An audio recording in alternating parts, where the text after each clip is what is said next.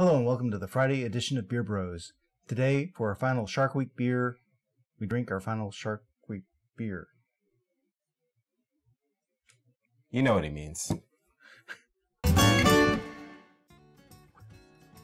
So, for our final beer of the week, we've got, once again from Dogfish Head, What? but this is old school Dogfish Head, Is that why you're dusting it off? because it's old school Oh, jeez. by Dogfish Head. And we actually had, this was brought to us by Beer Bro Victor in honor of Shark Week, as was the Bull Shark.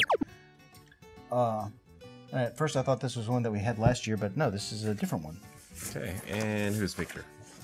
Victor's the other Beer Bro. You need to watch this show. It's called Beer Bros. I've never heard of it. There's a show?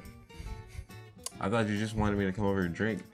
In front of a camera Yeah, I thought with we a were blinking red light. I thought it was just like pretend, like we are playing like astronauts or something.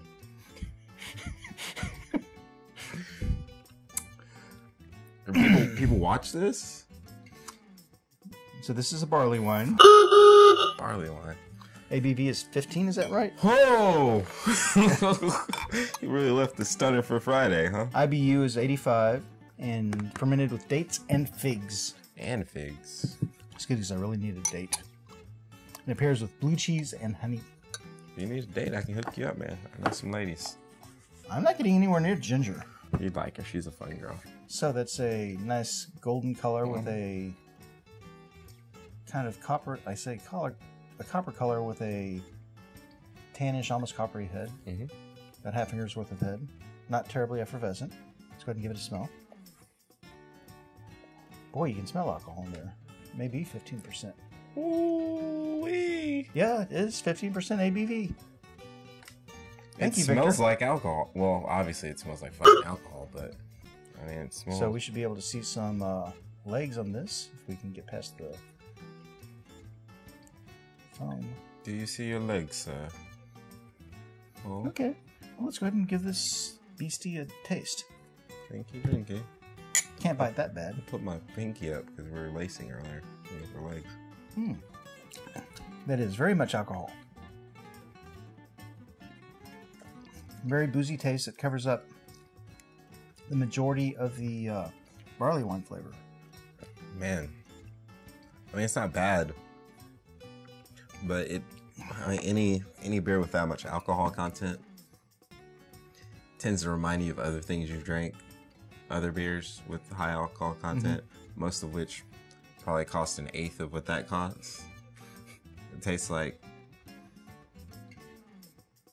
kind of like Keystone Ice. Ah, Keystone Ice. It's just kind of like that's what the first taste like brought me back there. Okay. Sorry, Dogfish Head. I like all of your beers, but this Okay. one. Oh, this is a rough week, man. Yeah, yeah, very- rough, rough week. It is every Shark Week. So, of the three shark beers that we've had, the Romantic Chemistry IPA, the Bull Shark, and the Olde School Barley Wine, which was your favorite shark beer of the week? All right, so I don't think any of them were particularly like awful. Oh, Um, just good. To, to put my put on a happy put a happy face on the week. Um, I'm gonna have to go with the Bull Shark. Oh, okay. Going with the Texas testosterone-filled deadly beer. Yes. I mean, Okay. why wouldn't we? We are in Texas. Yeah. Well, Yeah.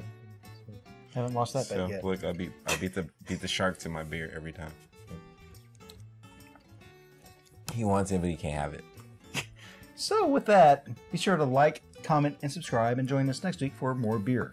Until then, Beer Bros out.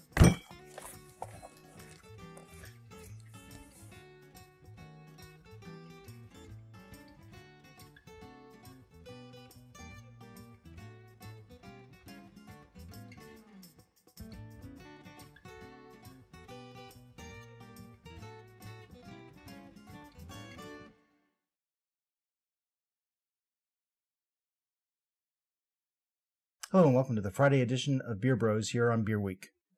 Today, we conclude with our final shark beer. Wait a minute, isn't it always beer week? Did I say sh- Beer Week? You should keep that one. We'll see.